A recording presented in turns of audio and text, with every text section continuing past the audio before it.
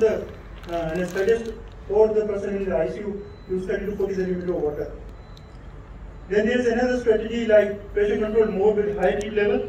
In this technique, pressure control mode is used with a set pressure at about 20 centimeter of water and above PEEP, sorry, and a mandatory rate of about 10 to 12 breaths per minute is used.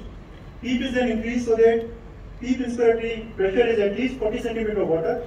The higher pressure is sustained for 40 to 60 seconds and then decreased to a level appropriate to sustain inflation and prevent de-recruitment. Ventilation is then continued in the pressure control mode. So this point is known as de-recruitment point. Then there is another technique in which pressure control mode is used with increased PEEP. In this recruitment maneuver, pressure control mode is used but increases PEEP in increments of about 5 centimeter of water. Each increase is held for several minutes, 2 to 5 minutes. For example, the pressure control level might be set at 20 centimeter of water